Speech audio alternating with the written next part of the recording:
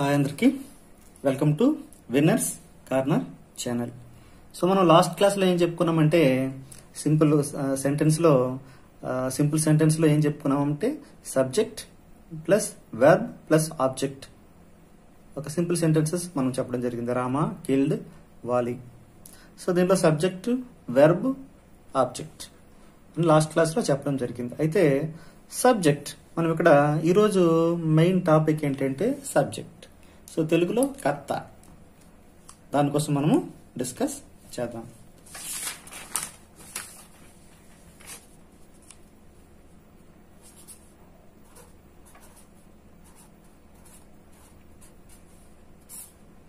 Subject. అయితే మనం ఇంగ్లీష్లో ఈ సబ్జెక్ట్ కింద ఏ పదాలు తీసుకోవాలి? ఆల్రెడీ లాస్ట్ ఎగ్జాంపుల్ చూడండి ఒకసారి. ఈ సబ్జెక్ట్లో ఇక్కడ రామ అనేది ఇక్కడ సబ్జెక్ట్ అయింది ఇక్కడ యు అనేది సబ్జెక్ట్ అయింది ప్లస్ ఇక్కడ దే అనేది సబ్జెక్ట్ అయింది. సో ఒకసారి గమనించినట్లయితే మనం సబ్జెక్ట్ కింద రాసేటప్పుడు రకరకాలైనటువంటి సబ్జెక్ట్స్ మనకు వస్తాయి. దేనిని మనము ఆ సబ్జెక్ట్స్ సబ్జెక్ట్స్ కింద రాసుకోవచ్చు. Next so sentence simple సెంటెన్స్లో subject plus verb plus object. So దేన్ని మనం సబ్జెక్ట్ కింద రాసుకోవచ్చు? దేన్ని మనం ఆబ్జెక్ట్ కింద రాసుకోవచ్చు? ఈరోజు లెసన్లో కొంచెం డీప్గా డిస్కస్ చేద్దాం. సో సబ్జెక్ట్ కింద మనం ఏం రాస్తామంటే సింపుల్గా సబ్జెక్ట్ కింద కానీ ఆబ్జెక్ట్ కింద కానీ ఈ సబ్జెక్ట్ ఆబ్జెక్ట్ కింద ఏం రాస్తామంటే మెయిన్గా మనకి నౌన్స్ ఏవైతే ఉన్నాయో ఆ నౌన్స్ అన్ని కూడా మనం సబ్జెక్ట్ కింద తీసుకోవచ్చు. నెక్స్ట్ ప్రొనౌన్స్ ఉన్నాయి. సో ప్రొనౌన్స్ కూడా మనకి సబ్జెక్ట్ కింద తీసుకోవచ్చు.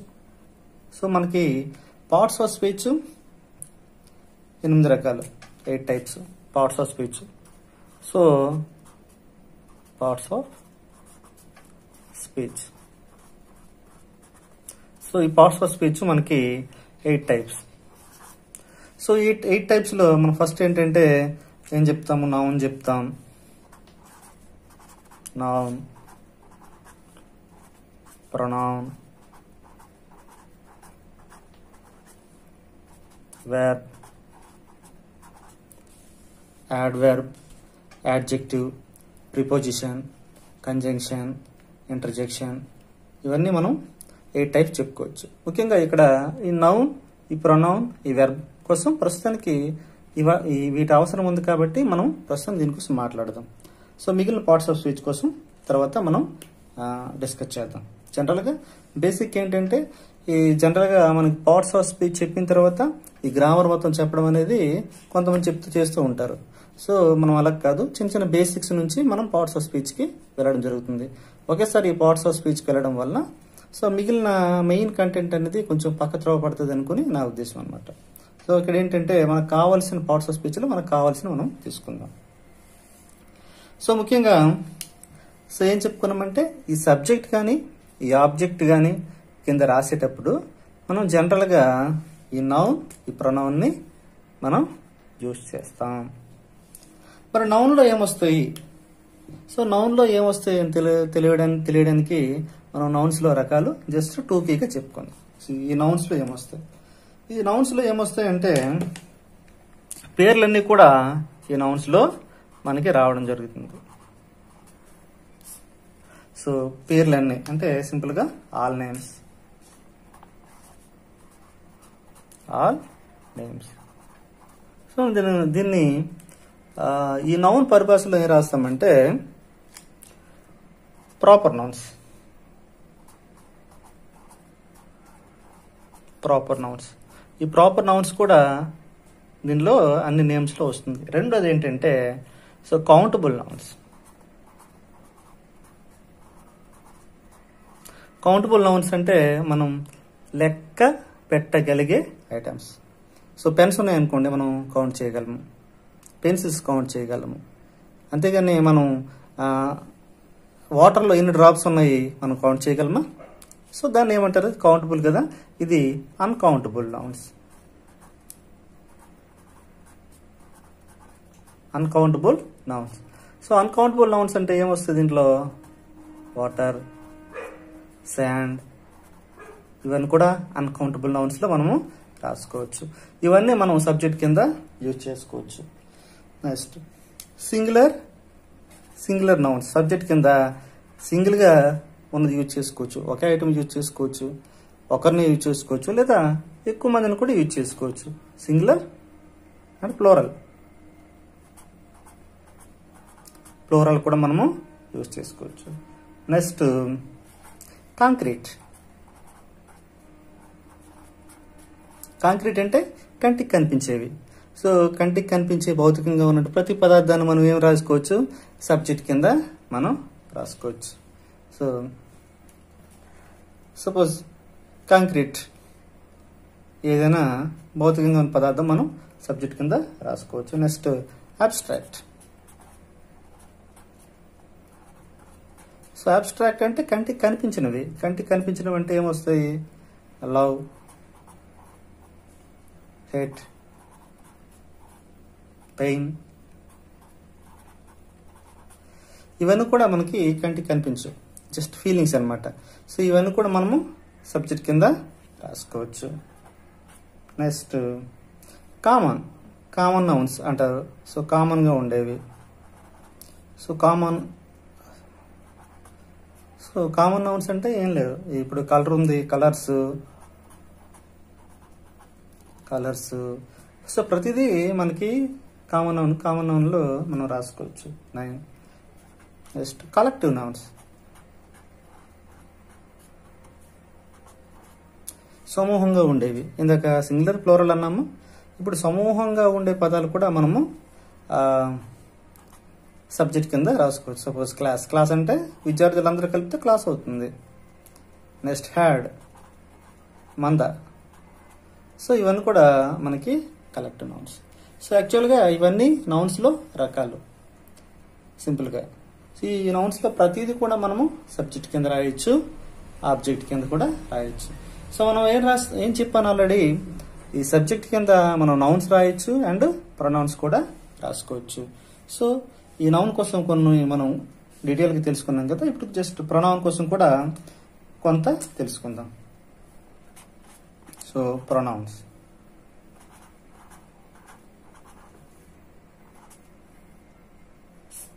సో ప్రొనౌన్స్ సింపుల్గా మనము డెఫినేషన్ ఏమి ఇస్తామంటే నౌన్కి బదులుగా వాడేది pronouns so pronouns used instead of a noun అది ప్రొనౌన్స్ కాబట్టి నౌన్ బదులుగా వాడతాం కాబట్టి ఇది కూడా మనము దేని కింద రాయొచ్చు? సబ్జెక్ట్ కింద రాయొచ్చు అండ్ ఆబ్జెక్ట్ కింద రాయొచ్చు. సో దాంట్లో కొన్ని నేర్చుకుందాం. సో ప్రొనౌన్స్ నేర్చుకునే ముందు దీనిలో చిన్న సబ్ టాపిక్ సబ్ టాపిక్ ఏంటంటే పెర్సన్స్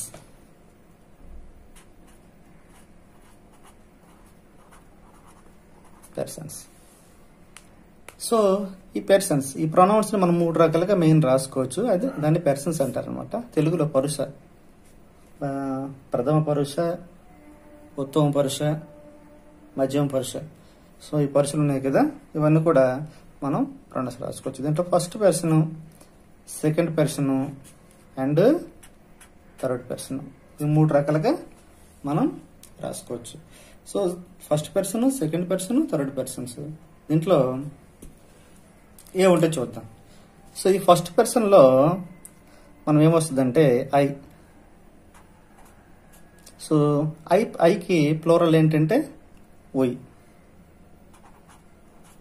ఈ రెండు కూడా మనము ఫస్ట్ పర్సన్లో చెప్పుకుంటాం అనమాట ఈ ఐ ఉయ్ అనేవి ఏంటంటే ప్రొనౌన్స్ ఇక్కడ మెయిన్ తర్వాత సెకండ్ పర్సన్లో ఏముంటుందంటే యు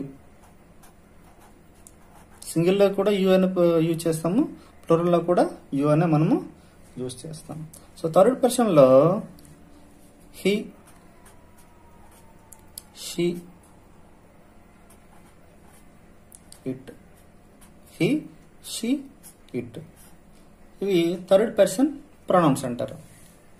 ఓకేనా సో ఇవన్నీ కూడా మనం ఏం చేస్తామంటే సబ్జెక్ట్గా యూజ్ చేస్తాం. ఇవన్నీ కూడా మనం ఏం చేస్తామంటే సబ్జెక్ట్ కింద మనం ఈజీగా చక్కగా యూజ్ చేసుకుని so I I like tea so ఇవన్నీ ఈజీగా మనం సబ్జెక్ట్ కింద యూజ్ చేసుకుంటాం. అదే ఇదే ప్రొనౌన్స్ని ఆబ్జెక్ట్ కింద యూజ్ చేయాలంటే జస్ట్ కొంచెం చేంజ్ అవుతుందన్నమాట. సో ఇదే స్టార్టింగ్లో యూజ్ చేయాలంటే వీటిని యూజ్ చేస్తాము. లేదా ఆబ్జెక్ట్ కింద యూజ్ చేయాలంటే సో ఐకి ఏం ఆబ్జెక్ట్ ఏమొస్తుందంటే మీ అంటే దీని సబ్జెక్టివ్ ప్రొనౌన్స్ అంటాము ఇవి ఆబ్జెక్టివ్ ప్రొనౌన్స్ అంటాం. ఐకి మీ ఉయికి నెక్స్ట్ అస్ నెక్స్ట్ యూకి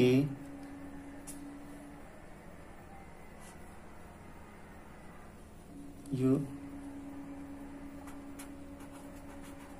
నెక్స్ట్ హీకి హిమ్ షీకి హెర్ ఇట్టికి ఇట్టు సో ఇది వీటిని సబ్జెక్ట్ కింద యూజ్ చేస్తాము. వీటిని ఆబ్జెక్ట్ కింద మనం యూజ్ చేస్తాం. అదే నౌన్కి అయితే ఏం మారదు. సబ్జెక్ట్ కింద ఏది యూజ్ చేస్తామో ఆబ్జెక్ట్ కింద ఏం మార్చక్కర్లేదు.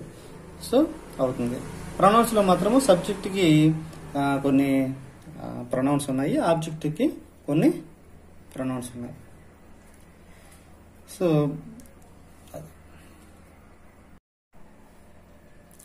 ఇక్కడ హీ షీ ఇటుతో పాటుగా సో ఈ అన్నిటికి ప్లోరల్ ఏంటంటే దే e, సో ఈ దే అనే ప్రణౌన్కి సబ్జెక్ట్ ప్రణౌన్కి ఆబ్జెక్ట్ ప్రణవం ఏంటంటే them T H E M so subject కింద అంటే మెయిన్ ఈరోజు చెప్ప చెప్పదలిచే విషయం ఏంటంటే సో ఒక సెంటెన్స్లో సబ్జెక్ట్ వెర్బ్ ఆబ్జెక్ట్ ఉంటే ఇక్కడ సబ్జెక్ట్ ఆబ్జెక్ట్లో మనం దేన్ని యూజ్ చేయాలి అనేది ఈరోజు టాపిక్ అన్నమాట. సో మనం సబ్జెక్ట్ కింద ఆబ్జెక్ట్ కింద ఏం యూజ్ చేసుకుంటామంటే నౌన్ ప్రొనౌన్ని మనము యూజ్ చేసుకుంటాము. సో నౌన్స్లో రకాలు చెప్పాను. సో దీంట్లో ఏ రకమైన మనము నౌన్స్ కింద అంటే సబ్జెక్ట్ కింద యూజ్ చేసుకోవచ్చు. ఈ ప్రొనౌన్లో పర్సన్స్ తీసుకున్నాము దీంట్లో first person second person third persons దీంట్లో సబ్జెక్ట్ ప్రొనౌన్ సబ్జెక్ట్ కింద వాడదలుచుకున్నవి ఇవి. I we you he she it they అదే ఒకవేళ ఈ ప్రొనౌన్స్ని ఆబ్జెక్ట్ కింద వాడదలుచుకుంటే ఇవి వాడాలి. Me us you him her it them so ఇది ఈరోజు టాపిక్ అన్నమాట. సో సెంటెన్స్ సెంటెన్స్లో భాగాలైనటువంటి సబ్జెక్టు ప్లస్ ప్రిడికేటు సెంటెన్స్లో మరో భాగమైన subject plus verb plus object. దానిలో సబ్జెక్ట్ ఆబ్జెక్ట్ కోసం మనము ఈరోజు విపులంగా తెలుసుకోవడం జరిగింది. నెక్స్ట్ ఒక మంచి టాపిక్ నెక్స్ట్ కలుద్దాం.